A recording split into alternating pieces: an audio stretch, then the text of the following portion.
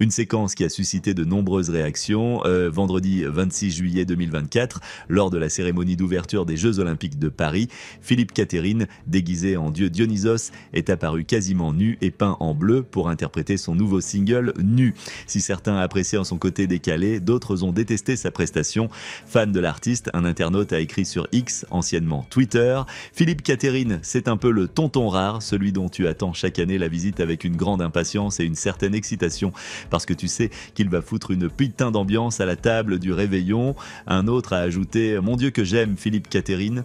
Profondément choqué par sa prestation, certains ont écrit Ça ne vous dérange pas de laisser ça passer à la télé, sachant qu'il y a des enfants qui regardent Vulgaire, la honte absolue, l'irrespect dans toute sa splendeur et sa décadence, ou encore une honte, le pire moment de la soirée au Maroc, aux États-Unis ou encore en Algérie. Les diffuseurs ont quant à eux préféré ne pas diffuser la prestation du chanteur.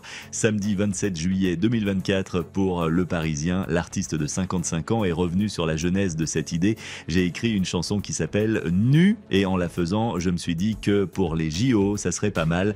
Lors des premiers Jeux olympiques en Grèce, les athlètes étaient lus selon les représentations de l'époque sur les gravures et les vases, a-t-il expliqué avant de préciser que la nudité était l'origine même des Jeux. Fier d'avoir participé à un tableau symbole d'inclusivité entouré de drag queens, Philippe Catherine a estimé on est plein de gens différents et chaque personne vit de sa propre façon et surtout a le droit de le faire. J'ai adoré le faire. C'est la première fois que je chante cette chanson en plus et je voulais faire passer mon message qui va dans ce sens. Si on est tout nu, il n'y a pas de guerre car il n'y a pas d'armes, avec humour, le compagnon de Julie Depardieu a par ailleurs précisé avoir dû se faire épiler intégralement afin que la peinture adhère mieux à son corps et qu'il avait fallu deux heures pour euh, le maquiller.